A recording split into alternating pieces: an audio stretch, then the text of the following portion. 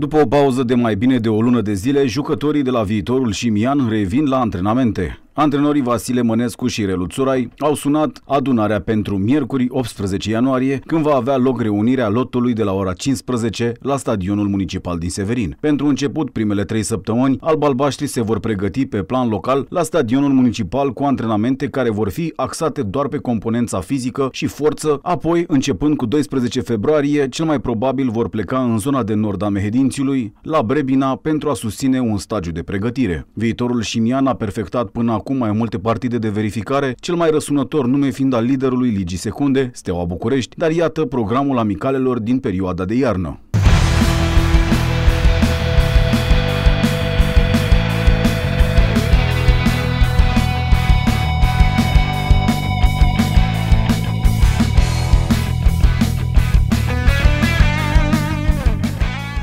În programul echipei mai pot surveni modificări și se mai caută și alți adversari disponibili. La nivelul lotului viitorul Șimian a pierdut doi jucători. Atacantul Marian Stoienac și portarul Alexandru Neacșu nu au mai continuat colaborarea, astfel că staful tehnic și conducerea clubului caută soluții pentru a acoperi posturile deficitare aflându-se în negocieri cu mai mulți jucători. Până în momentul de față nu a fost oficializat niciun contract. Mehedințenii vor face în această săptămână și o selecție pentru juniori. Sâmbătă pe stadionul din Șimian, cei mai talentați talentați copii cu vârsta cuprinsă între 14 și 18 ani vor avea șansa să-și etaleze talentul și cei mai buni vor face pasul la nivelul Ligii a treia. Staful tehnic și jucătorii vor avea la dispoziție mai bine de două luni pentru pregătirea sezonului de primăvară, care debutează pe 11 martie, când vor evolua în deplasare la Voința Lupac, în etapa 16 din seria 7 a Ligii a 3 Mehedințenii abordează ultimele trei etape pe locul 3, cu obiectivul de a se califica în play-off.